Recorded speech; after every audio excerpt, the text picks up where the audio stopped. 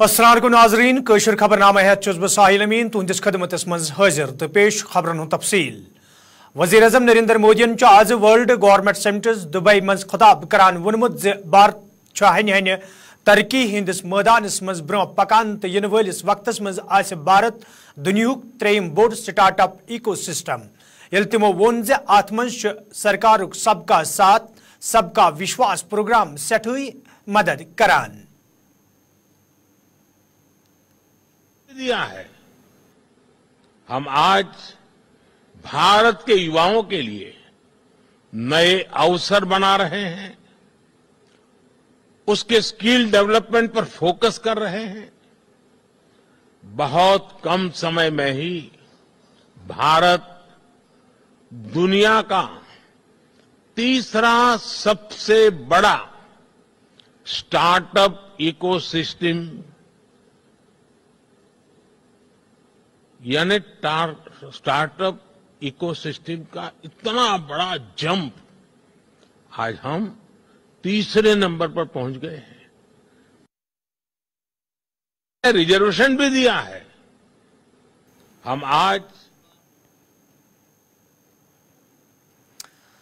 वादी कशीर मज ये बिजली लानन हज शहर पर करनस दौरान आज ताम महकमे बिजली मज काम करन वल कैया मुलजिम जांबाग सपद प्रेथ विज मुतलिक पावर स्टेशन पे तैनात मुलजमन हज लापरवाही हंद इल्ज़ाम लूको तरफ़ आयद कर आव।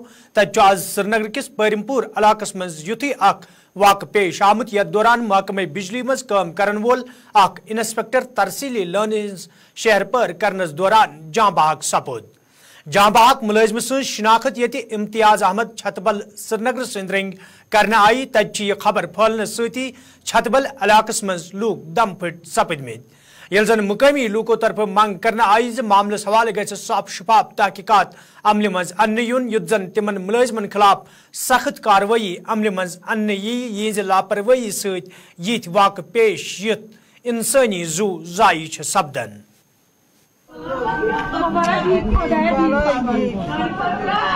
Ele que essa chucara do Ai, minha de patrão! Patrão! Que cara, patrão!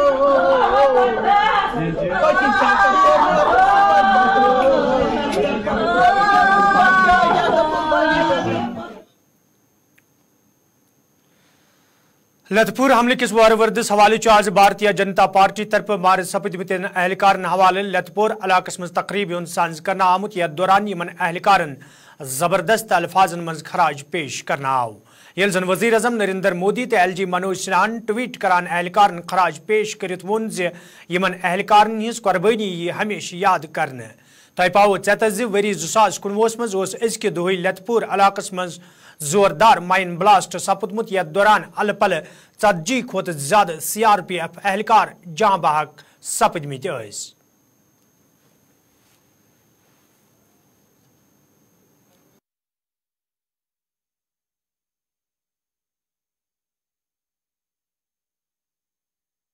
है कि ये जो काला दिन है और बेगुनाह हमारे जो जवान यहाँ पे शहीद हुए थे उसका बदला तो भारतवर्ष ने जो है वो लिया, क्योंकि आज की जो गवर्नमेंट है हमारी और जो हमारे मुल्क की सरबराही कर रहे हैं, आज दुनिया में हिंदुस्तान की डेमोक्रेसी का और यहाँ की सरकार का जो है वो डंका जो है वो बज रहा है। उसका कारण ये है कि एक बहुत ही सशक्त प्रधानमंत्री और सरकार हमारे पास है। और आज के इस दिन को मैंने पहले ही कहा कि ये काला दिवस है, लेकिन अगर हम देखेंगे तो चौथी बरस से जम्मू कश्मीर में जो है बेगुनाह लोगों का जो है वह खून बहाया जा रहा है। आज के दिन पे मैं उन बहादुर नौजवानों को सल्यूट भी करता हूँ और उनके परिवार के साथ संवेदना प्रकट भी करता हूँ और जम्मू कश्मीर की जनता और खसूस तौर पर कश्मीर की जनता को मैं आज के दिन पे ये मुबारकबाद भी देता हूँ। आज हम लोग बहुत भाग्यशाली समझ रहे हैं अपने आप को। आज के दिन पुलवामा अटैक के उस दौर पे हम उस जगह पे आए हैं अपने आर्मी लोग को श्रद्धांजलि, मनपुर से श्रद्धा पूर्वक से अर्पण करना चाह रहे हैं। और यहाँ आके हम लोग को एकदम सेफ्टी महसूस हो रहा है, एकदम आराम से है। हम लोग बहुत खुश हैं यहाँ पे। और जो जो आर्मी का वो जो दुख है, वो हम कभी भूल नहीं पाएँगे। उनके जो देश के लिए शहीद हुए उन लोग को कभी हम भूल नहीं पाएँगे। उनको तन मन से हमारा श्रद्धा पूर्वक श्रद्धांजलि अर्पण है। नहीं, बहुत सेफ्टी है, सब लोग आ सकते हो। उस दौर को भूल के अब नया सिलसिला शुरू करिए। बहुत सेफ्टी से अपना चल रहा है, यहाँ पे हम लोग को कोई तकलीफ़ नहीं है। यहाँ की जो पब्लिक है, बहुत हेल्पिंग पब्लिक है, बहुत अच्छे स्वभाव के अच्छे लोग हैं। हम लोग को कोई इशू नहीं है। देश के लिए, वो लोग भी हम लोग के लिए रेडी तैयार है हर वक्त हेल्प करने के लिए। कोई तकलीफ़ नहीं। वज़ीर अजम नरेंद्र मोदी ये यम रेतन वहम तारीख जम्मू कशीर हुंद दौर करन वल तत मज दौरस पेश नज़र सिक्योरिटी हज सख्त बंदोबस्त करना आमत तो ये अजम नरेंद्र मोदी मौलाना आज़ाद स्टेडियम जमिस मज अकिस रैली खताब तत इंतजामिया तरफ़ मौलाना आज़ाद स्टेडियमस मज तैयारियन हतमी शक्ल दिनस अलाव अत स्टेडियमस अंद पक फोर्सेज एहलकार हज इजाफी नफरी तैनात करना आमज यपर जम सोब कन मुख्तलिफ़ इलाकन मज फोर्सेज एहलकारों तरफ़ खसूसी नाक लागना आमत यथ दौरान वत पकवन तो गाड़ वाल हज तलाशी हेन पत तिमन ब्रोह पकनुक इजाज़त दिन जमिस मज सिक्योरिटी सूरत हाल तो वज़ीर अजम नरेंद्र मोदी सदिस दौरस हवाल करना आमतन इंतजामन हवाल मजीद तफसीत जम पे पेश करान शिल्पा शर्मा।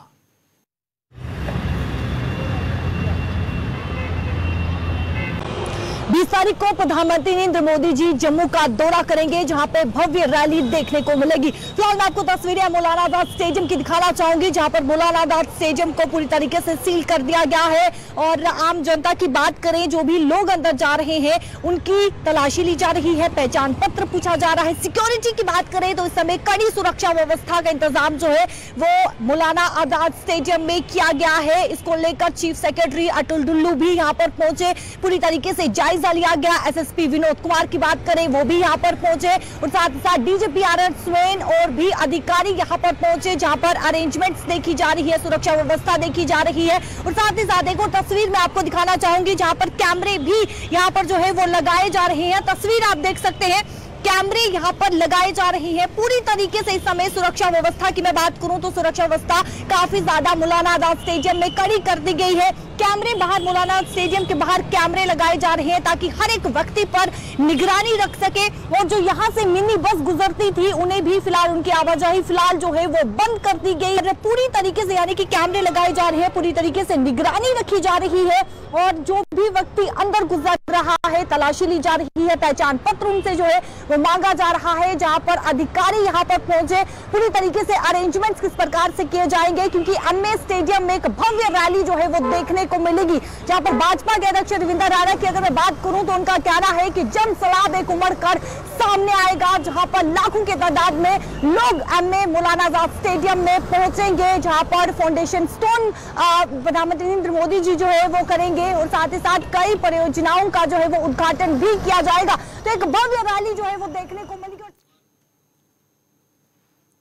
मज आज भारतीय जनता पार्टी तरफ़ प्रेस कॉन्फ्रेंस हूँ सांस करना आमुत यथ दौरान पार्टी हंद जम्मू हंद सदर रविंदर रैनान वोन जम्मू कशीर मज बीजेपी हन हन मज़बूत सपदन तो यम त लीडर बीजेपी यस मज शामिल सपदन आसन यछन तिमन पज यी वथ वन इस्तकबाल कर ये तमो वोन भारतीय जनता पार्टी इंतखाबन मज हिस्स nin बापत प्रेथ विज तैयार।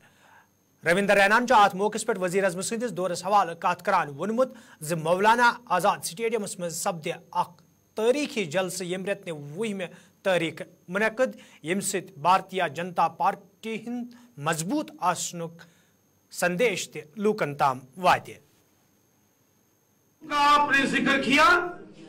अगर वो भी आते हैं तो हम दिल खोलकर उनका भी इस्तकबाल करेंगे।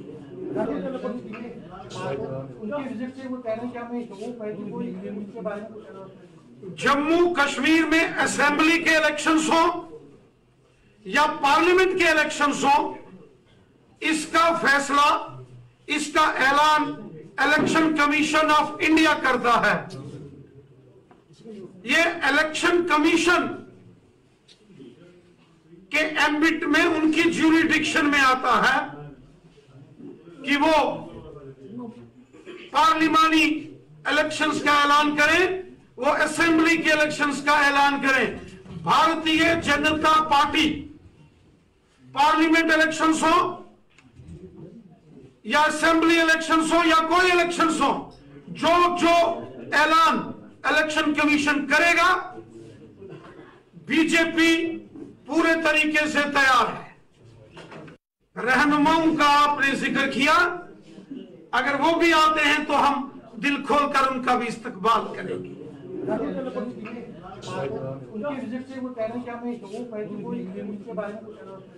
जम्मू बड़ी खुशी की बात है कि हमारे देश के माननीय प्रधानमंत्री श्रीमान नरेंद्र मोदी साहब 20 फरवरी सुबह 11 बजे जम्मू आ रहे हैं। माननीय प्रधानमंत्री श्रीमान नरेंद्र मोदी साहब के जम्मू आगमन पर यहाँ बड़े बड़े प्रोजेक्ट्स उनका उद्घाटन होगा और नए बड़े प्रोजेक्ट्स का फाउंडेशन स्टोन्स रखे जाएँगे, वहीं जम्मू के मौलाना आज़ाद स्टेडियम में भारतीय जनता पार्टी ने माननीय प्रधानमंत्री नरेंद्र मोदी साहब के जम्मू आगमन पर एक भव्य रैली का आयोजन किया है। लाखों की तादाद में जम्मू कश्मीर के लोग, जम्मू कश्मीर की आवाम, हमारे मुल्क के ऑनरेबल प्राइम मिनिस्टर जनाब नरेंद्र मोदी साहब का भव्य स्वागत, इस्तकबाल 20 फरवरी सुबह 11 बजे मौलाना आज़ाद स्टेडियम में करेंगे, जो जम्मू कश्मीर के अंदर अमन, खुशहाली और भाईचारा मज़बूत हुआ है। यह सब हमारी मरकजी हुकूमत और हमारे प्राइम मिनिस्टर जनाब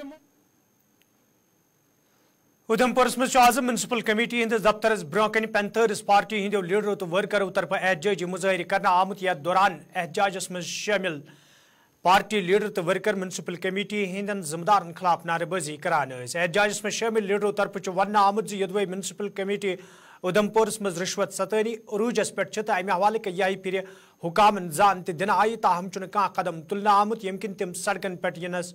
यथ एहजाज करनस पे मजबूर सपद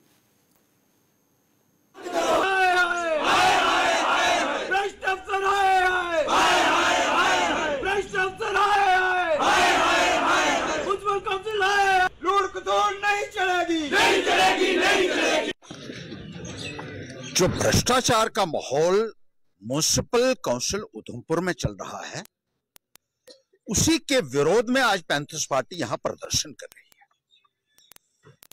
गरीब लोगों को सताया जाता है, प्रताड़ित किया जाता है। एनक्रोचमेंट के नाम पर उनको टॉर्चर किया जाता है। लेकिन बड़े बड़े लोग हैं जो सरमाएदार लोग हैं, भाजपा से जुड़े हुए लोग हैं, उनको खुली छह है, छह। ग्रीन जोन में बंगले बनाए हुए हैं, कोई पूछने वाला नहीं है। यहाँ थोड़ा सा एक नुक्कड़ कहीं किसी का बाहर हो जाता है तो उस, उसके खिलाफ पुलिस की कार्रवाई, नोटिस उसको और उसको लगातार तंग किया जाता है। इसी तरीके से रिवायत हाल जो है, वो पिछले आठ वर्षों से एक ही पार्टी को दिया गया है। किस कानून के तहत आठ वर्षों से अलॉटमेंट एक पार्टी को दी गई है। इस बात को बार बार पूछा गया बार बार को कहा गया कि समझाइए। पीएचई एम्प्लॉज यूनाइटेड फ्रंट तरफ़ आज बद्रवास मज एहतजाजी मुजाहर कर आमुत यथ दौरान एहतजाजस मज शामिल मुलाजिम इंतजामिया खिलाफ नारेबाजी करान एहतजाजस मज शामिल मुलाजिमों तरफ़ वन आमुत यदवे तम महकमस मज पन फरज सान अंजाम दिवान ताहम तिहद मसल अंजरावनस हवाले कह कदम तुलना आमुत यम किन तम एहतजाज करनस पे मजबूर सपद। एहतजाज में शामिल मुलजमों तरफ़ इंतजामिया मंग कर आम तिहद मसल अंजरावनस हवाले गन संजीद कदम तुलने इन युत जन तम दोबार सड़कन पे यनस मजबूर सपदन जम्मू कश्मीर के मेहनत कशो।